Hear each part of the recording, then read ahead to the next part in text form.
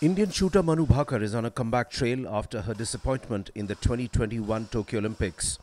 In an exclusive chat with NNIS Sports, Manu said her main focus was on sharpening her skills.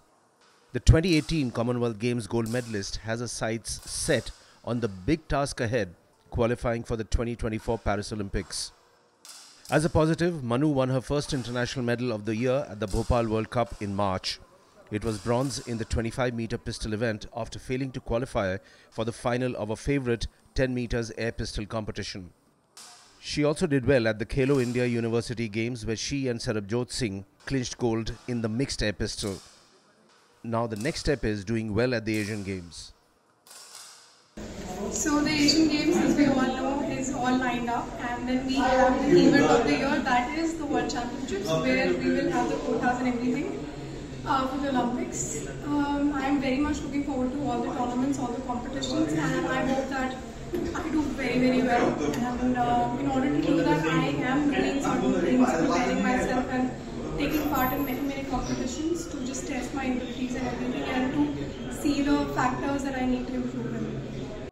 Winning at Bhopal was special as the large cheering crowds supported the players. So the Bhopal World Cup 2023 had an immense crowd. Um, if you were the part of it, you might have seen so many people were cheering for India, so many uh, people were cheering for Germany and all. So we had a huge, huge crowd and uh, performing in front of them and winning medal uh, for our country in the homeland, homeland is a different kind of pressure. And it was so I mean, I had the goosebumps all the time. So in every series, every shot, I was like, okay, just just be calm, just be calm, just be calm, just do your thing. So it was quite, um, I was under pressure. Manu is working on different aspects of her fitness.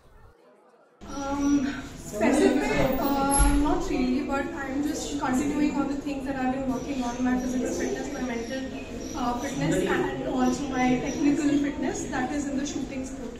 So I'm just continuing all the things that I've been doing so far. So that is the plan. For mixed events, the training is done differently. So we do have matches uh, from time to time. Like in nationals, we had uh, mixed team events. Uh, then in the KSS, we will have mixed team events, and then tomorrow also we have a mixed team match. So in competitions like such, we uh, get to train for the mixed teams. But other than that, we mostly train individually